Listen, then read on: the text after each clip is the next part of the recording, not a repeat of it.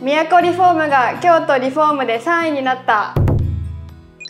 あの私なんかタイトルだけ言わされたんですけど3位になったって何が3位になったんですか？はい。京都リフォーム3位。はい。これ何が3位なのか売り上げなのか、はい。従業員なのか、はい。何やねんっていう何やねん話があると思うん何ですけどはい、今回については Google で例えばこうリフォーム会社探す時って Google で京都リフォームって調べる人結構多いと思うんですよ。そうですね。はい。まあ、地域プラスリフォームですね、うんうんはい、自分の住んでる地域プラスリフォームって調べる人多いと思うんですけど、うんはい。その時うち京都で営業してるかと思うんですけど、うんうん。まあ、京都リフォームで、えーリフォーム会社調べる人多いと思いますとはい。でその時にうちが Google 上何位に出てくるか。おおこれが今回初めてはい。3位になったんですよ。おー。これすごくないですか？そうなんですよ、うん3位ですよ。はい、3位なんですよ。で、これ、まあ、あと1位と2位何がいるかっていうと、はい。1位これ、Do のリフォームっていう。のリフォーム。はい、これ何かっていうと、あの、ハウスドゥっていう不動産屋さんがあるんですよね。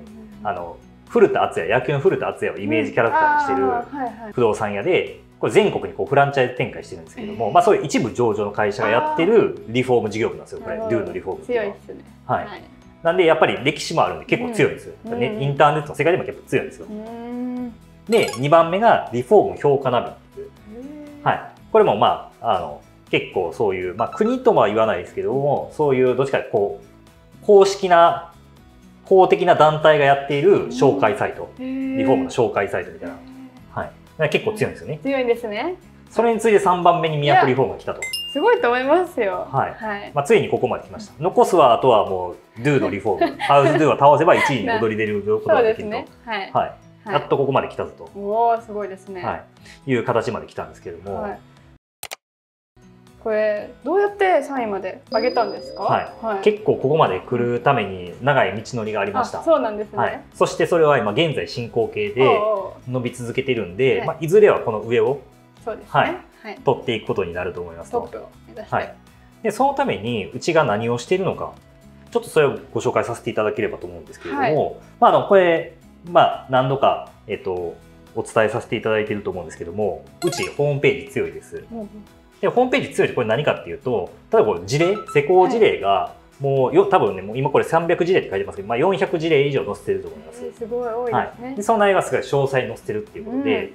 あのまあ、それがいろんなこうコンテンツ用意することによってまずホームページとしての価値を高めるようにしてます、うんなるほど。はい。はい。で見た人がいろんなこう有益な情報が載ってるとですね、はい、そういうことを努めた、えーホームページになっております。はい。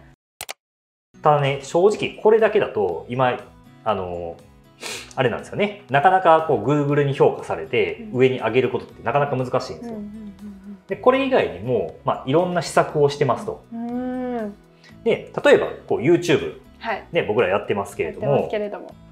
まあ、あのホームページからも飛べるようにしました、まあ、こういうことによってよりこうホームページの回遊率高めるとともに、うん。まあ、やっぱり認知度、ねうん。登録者数が今2700人超えてますけれどもやっぱりだんだんこう認知度上がってきてると思うんですよ。はい、ってなると例えばこう Google のこれ一つのツールでこれ Google サーチコンソールっていうんですけども、うんこれ上で「ニアコリフォーム」って検索した人。はい。まあ、Google 上ではい。ニアコリフォームって言って検索した人ですね。はい。っていうのが、今月、まあこれクリック数なんであれですけども、608クリックされてるんですよ。ニアコリフォームっていう。これこういうブランド名で検索すること指名検索っていうんですけども指名ですね、検索はい。指名検索、トヨタでも何でもいいですけども、うんそういう社名で検索するような感じですね。まあ、うんうちの場合事業部名ですけども、はい。ニアコリフォームって検索して、そのうちのホームページクリックした人が608回あるんですよ、月に。結構多くないですか？で、これはまあ多いか少ないかって言われると、まあ、わかんないですけども昔は、うんまあ、つい何ヶ月前までは、これ300とかそんな感じだったんあですよ。そうなんですね、はい、それが600超えるぐらいまで成長しましたと。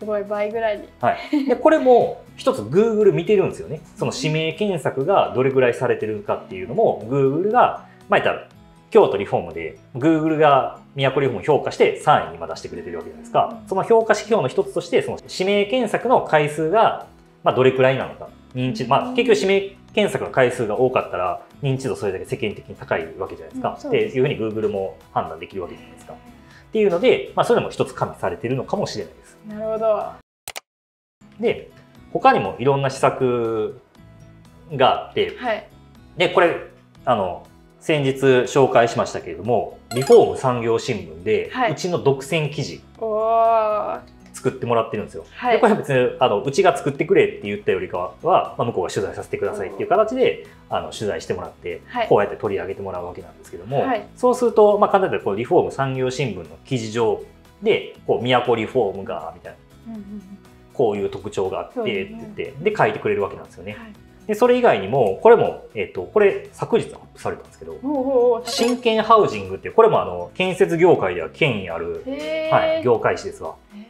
へはい、ここでも都リフォームについて取り上げてもらったんですよ。ーマジっすか、はい、すごい。ちゃんと僕の写真付きで。いる。はい、でこういうのやってると、はい。Google 的にはあなんか都リフォームっていうのは小川さんって人がいてで今頑張ってやってるんだ。っていうふうに認識してくれるんです。へ Google がそういうふうな感じで都リフォーム頑張ってるんだっーて認識してくれるんですよ。うんすごい。なるはい、ほど。だって Google って当たり前ですけどもネット上で引っ張ってこれる情報でしかその会社のことを評価できないんでですね。どんだけその会社やって担当者が頑張ってようとネット上にその情報が出てこない限りは評価のしようがないんですよ。そうですね、はい、っていう形であの結構そういうふうにいろんなこうメディアに取り上げてもらうような施策っていうのを、まあ、あの今順次行っているっていう、なるほど、はいすごい頑張ってるんですね、はい。まあ、そういった、えっとまあ、ホームページ、まあ、ホームページ自体充実させますって他に、はい。そういうプロモーション活動、うはい。まあ、いろいろまあ YouTube 含めてさせていただくことによって、んはい。まあ、今ここまで来てるかなっておとこおー。なるほど。ちなみにちなみにそういう Google に評価されるための対策っていうんですかね、ろですね。はい。そういうのって独学で学べるもんなんですか？えっとね、正直学べます。あそうなんですか、はい、で僕正直そのまあ当然僕はあの前職でそういう、まあ、インターネットの会社にいたんででその時にあの某サイバーエージェントのうん。結構こういうの強い人に、へー。まあ、コンサルというか、まあ、月1でアドバイスもらうみたいな機会してもらったりとかしたんで、まあ、正直普通の人よりかは強いんですけども別に今そういう情報っていくらでも溢れてるんですよ。うん。で例えばなんですけども YouTube で SEO って検索すると、はい。あのいろんなこう情報うんが見ることできるんですよ。